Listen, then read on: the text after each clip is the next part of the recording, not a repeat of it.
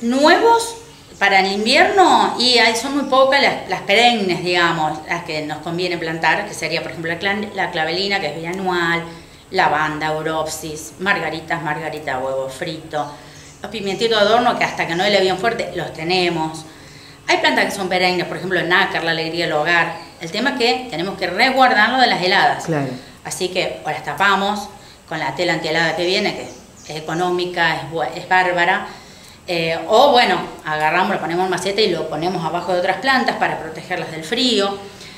Eh, todavía ahora hay portulaca, hay eh, copetes, vincas, eh, bueno, copetón, qué sé yo, conejito.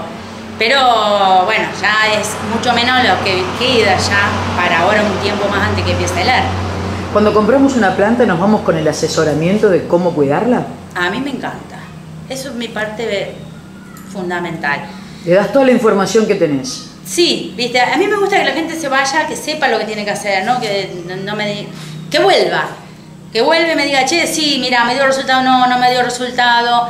Eh, para mí lo fundamental. Si hay gente, hay tres o cuatro esperando, disculpen, hagan autoservicio. Escuchen para cuando tengan una planta igual, escuchen, sepan cómo cuidarla. eh, Viste, Eh, mucha gente ya sabe bien, ya hace autoservicio y me dice, quiero estos tres plantines. Entonces, bueno, mientras tanto les cobro esos tres plantines, les doy las flores, mientras sigo con esta gente que por ahí eh, necesitan hacer un cerco vivo o quieren hacer una isla, un grupo de plantas, o tanto de interior, de exterior. Eh, qué sé yo, es algo que me, me apasiona ese tema, que la gente sepa lo que está comprando. Claro. Si te va a venir, si no te va a venir. Y por ahí me dice, "Sí, pero yo la quiero igual. Bueno, vos llevátela. Yo te digo que ahí no te va a venir. Después no me vengas, ¿eh? Y después ahí alguno viene y me dice, tenías razón, ¿viste? Bueno, le digo yo, porque por Claro. ahí me dice, ¿y pero qué clase de vendedora sos que no me querés vender? Y pero le digo, yo no, a mí no es lo fundamental vender. A mí, qué sé yo, es un trabajo que hace como 20 años que hago, ya de antes de otros viveros, con mi amiga, y siempre fue algo que me gustó mucho, ya antes de empezar a trabajar en viveros. En mi casa me hacía plantas de gajo, fiscus. Es más, yo por ejemplo si quiero un gajito de una planta, o qué sé yo, viste, hay algo que me vino además, y el primero que viene, ¿lo querés? Eh, llévatelo, los gajitos de, la, de los claveles, los gajitos, toma, llévate esto, plantalo, vas a ver, viste, los gajos de los crisantemos cuando vienen las flores. Y bueno, muchos vuelven y dicen, ay, que vos sabés qué lindo que los tengo la primera vez. Me dice la señora, la primera vez que tengo una planta que hago de gajo. Viste, le digo que es nomás intentar. Así que bueno, y quererlas, la planta hay que quererlas. Sí, también tenés que encontrarle y el lugar viste adecuado. Claro. Porque no todas las plantas pueden estar en el mismo lugar, es o sea, Claro. como todos, como nosotros. Sin duda. Así que sí. Irma, te voy a visitar seguido. ¿Cuándo tengo que volver? Ay, cuando quieras, ver, si querés, eh, ¿Cuándo vas a tener, ¿cuándo vas a tener, ¿cuándo vas a tener eh, novedades? ¿Cuándo vas a tener nuevas plantas? Mira, acá llegan todos los jueves plantas. Uno siempre va renovando un poco lo que se va vendiendo, vas viendo plantas nuevas. Eh, de San Pedro, que yo, yo compro mucho en San Pedro todo lo que es de exterior. Me gusta mucho la mercadería, tiene mejores precios, viene directo.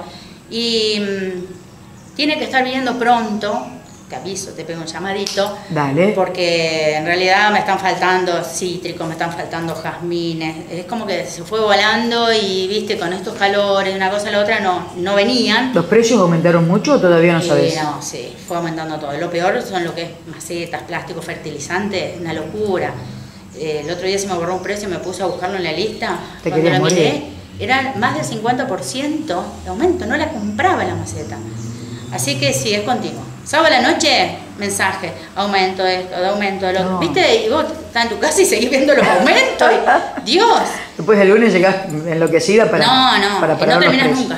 No terminás, porque cuando terminaste de remarcar, eh, te vuelven a mandar y empezás, viste, cuando llega la marquería, empezás a, bueno, a preparar los precios y ves que nada que ver. Claro. Qué sé yo, las plantas, la verdad que no conseguí más nada económico, muy poco. Muy poco. Bueno, Irma, eh, vamos a volver. ¿eh? Dale, te, te agradezco esta- muchísimas gracias a vos por esta no- esta visitarnos. entrevista, esta nota, bueno, ¿eh? los espero cuando quieran venir con el mate, hacer una vueltita, una recorrida. Sí, estoy viendo que el lugar está muy lindo. Hay mucha gente que viene y da la vuelta, gente de afuera que viene y que les gusta venir, así que bueno.